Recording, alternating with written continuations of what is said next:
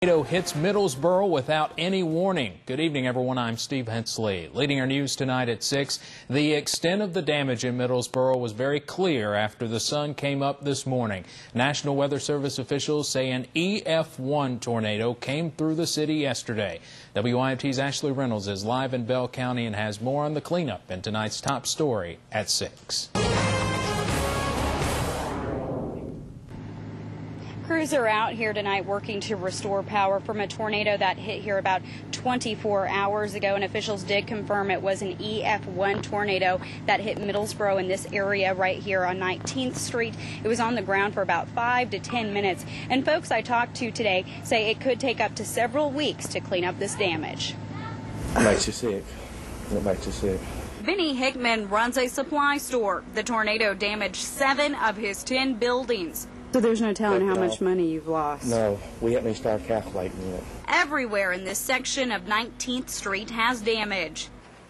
Just to give you an idea of some of this destruction, check this out. This right here is a telephone pole that fell, and you can see right here we're basically on a railroad track that is no longer in use. And check out some of these cement blocks here.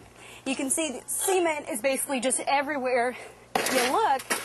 And you can tell it was part of this building, which is no longer standing. And folks that I talked to say, well, there is a lot of destruction here. They are very grateful no one was hurt.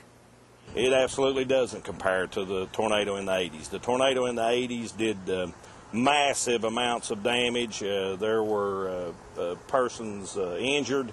Uh, we've been really blessed with this one. Nobody's been injured. While no one was injured, business owners say it will take weeks to rebuild. I was more shocked.